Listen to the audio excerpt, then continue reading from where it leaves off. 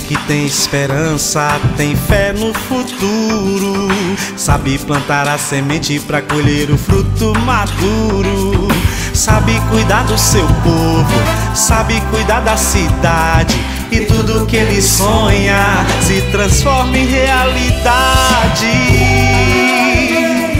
Não tinha mercado do peixe, Ricardo foi lá e fez. Não tinha estação ciência,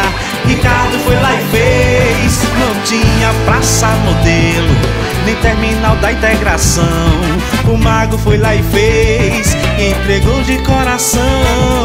Não tinha reforma na orla, Ricardo foi lá e fez. Nem o trevo da mangabeira, Ricardo foi lá e fez. Agora ele está de volta, trazendo a esperança pro povo, com a força de seu trabalho. Agora